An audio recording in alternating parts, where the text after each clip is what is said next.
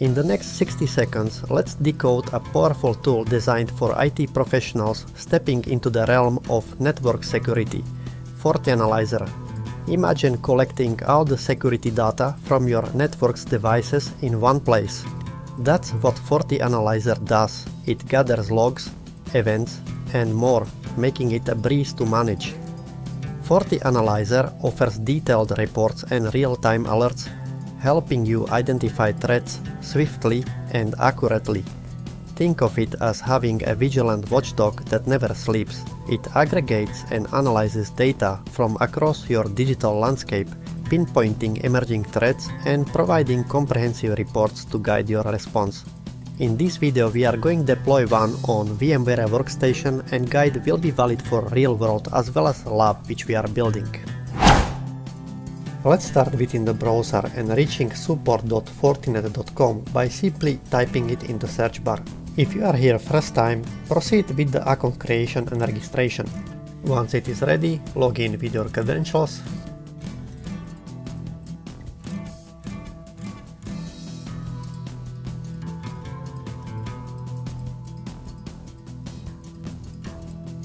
If you have purchased license, I would suggest to start with registration. As you can see, I've already registered mine. Right after that, navigate to support drop-down menu and click on VM images.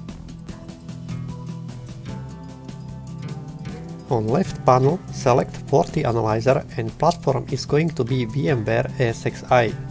In my case, I have decided to go for a 7.2.5 release and we are going to download new deployment of FortiAnalyzer for VMware.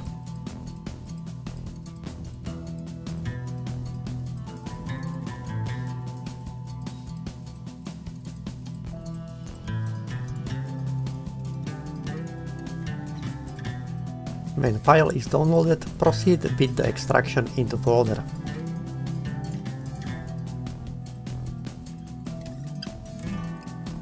Now I'm going to import extracted virtual machine files directly in VMware Workstation.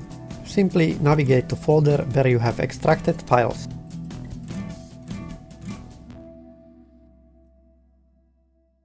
Select FortiAnalyzer VM64.ovf and press open. In following window, pick up your name and select destination path for virtual machine.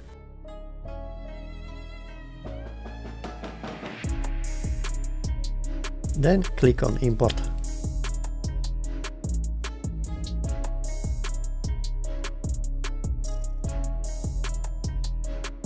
As you can see, FortiAnalyzer requires a lot of resources. If you are deploying it in real world, I suggest keep the RAM settings as it is. In my case, I am going to use it in lab environment, so 8 gigs should be sufficient. In next step, we are going to set up connectivity via virtual interfaces, so click on the virtual network editor.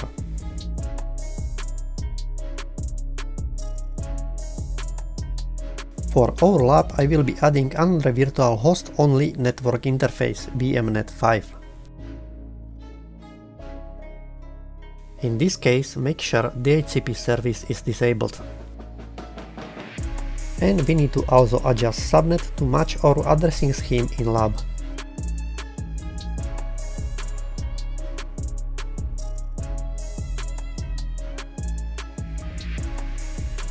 Click apply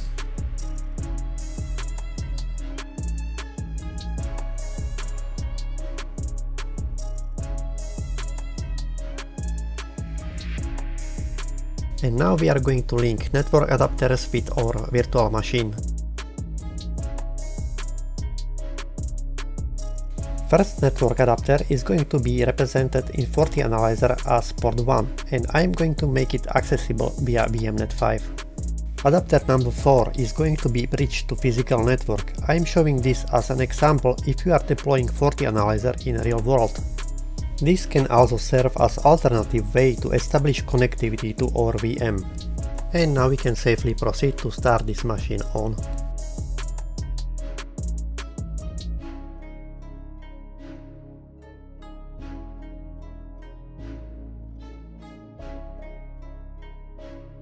First time booting process is going to take a little longer, I'm going to speed it up.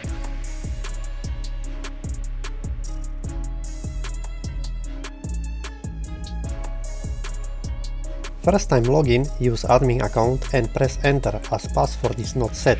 You will be asked to create password right after that. Type in password of your choice and after we can jump into the configuration. First I'm going to focus on configure interfaces. Type in command config system interface.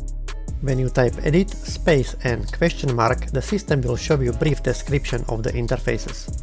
Continue with typing in edit port 1 and here we are going to set IP address from the addressing space of our lab environment following with 24-bit subnet mask.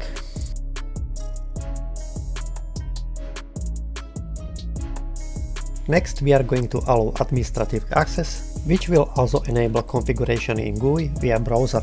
Other than that, I will also allow everything which may be needed in the future.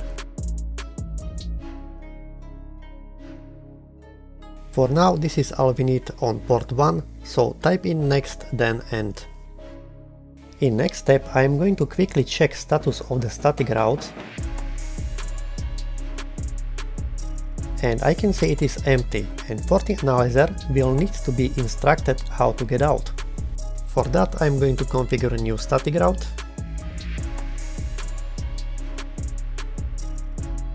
and command is going to be set dst all zeros which means everything and for everything use port 1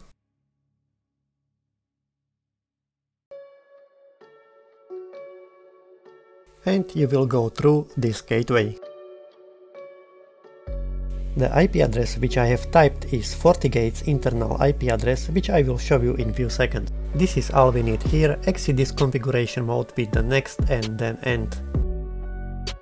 If you are deploying this virtual machine in real world, this is quick guide how to most likely discover gateway IP of your physical router. Like you saw on the picture, press Windows key plus R, then type cmd, then ipconfig. Because in my PC I have many network and virtual adapters I have concealed this up so it is not confusing. And IP of your gateway probably appear as I have marked with the yellow square, just keep in mind numbers will be most likely different. Here I am going to show example configuration for the real world. We have linked adapter 4 with the bridge interface to physical network, so your configuration on port 4 will look like similar to this. The IP address assignment should be in same addressing space as your physical network, and the gateway as well during static route configuration.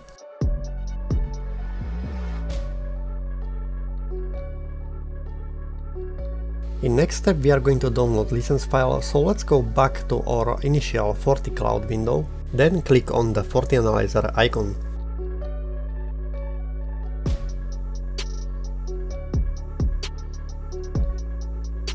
License file can be downloaded simply by clicking this link, but before you do that, make sure the IP address which you have set during the registration does match with the IP address set on the interface, otherwise activation is going to fail. If your IP address do not match, don't worry, you can change it by clicking on this pen icon. Now let's access FortiAnalyzer GUI by the IP address which we set on interface. In my case it was 172.16.10.99. Because this is self-signed certificate you are going to get warning, but that's completely okay, just proceed forward. Here we are reaching point where you can go for a free trial as well for lab purposes. This is also viable option. Because I do have license file, my next step is going to be uploading license. Sign the contract, big boy. Come on, sign the contract. Just navigate to folder where it is downloaded and click upload. Oh, no looker. First ever. Oh, nailed it. Virtual machine is now being rebooted, so activation can be applied. It is going to take some time, but you can track progress by switching to console window in VMware Workstation. Once it is done, simply refresh the page. At this point you should be able to log in with your admin account and password of your choice. In this page it is important to point out if connectivity to internet is set incorrectly, you are not going to pass this window. It is kind of annoying but not possible to skip. Alternative way is to get entitlement file which you can get via customer support. Now let's jump to our lab and just like in real world we have to plug this machine into network in order to establish connectivity. I'm going to do that with placing cloud and selecting my PC as a server. Early in the video we have linked VMnet 5 to port 1, so this is what you need to add within the cloud configuration. Click on show special ethernet interfaces and then add it. For aesthetic reasons I am going to change icon as well.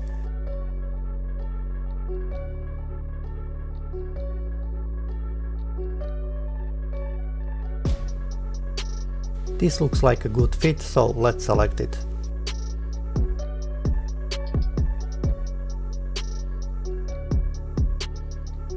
Before connection, I'm also going to change the name.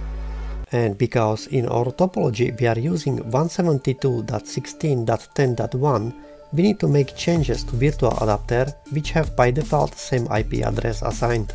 You can quickly do so by pressing Windows key plus R. Type in ncpa.cpl, which will lead you straight directly to the network connections. And in VMnet 5 we are going to change IP address to something else than .1. I have picked 254 because it is last IP in addressing space. After that I would recommend to restart computer because GNS3 does not play well with these changes. Once computer is restarted and virtual machine booted, we can finally make virtual cable connection.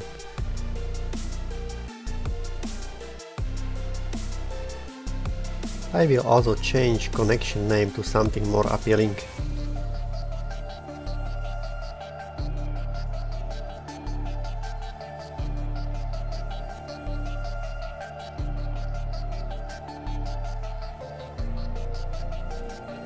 Some small configuration changes are going to be needed on Cisco switch, so let's do that now. Type in conft, then interface gigabit ethernet 2 slash 2. With following two commands I am going to tell the port you belong to VLAN 10 and this port serves as access. With that our job is done here so let's save config and test connectivity.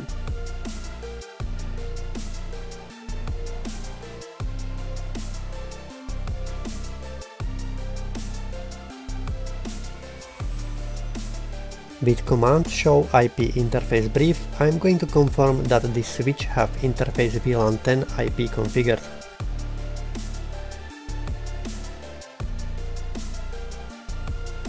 And our ping to FortiAnalyzer VM was successful, which means we should be able to go through setup window without issues. With that I am going to say goodbye and I am looking forward to see you in next video. Oh, nailed it.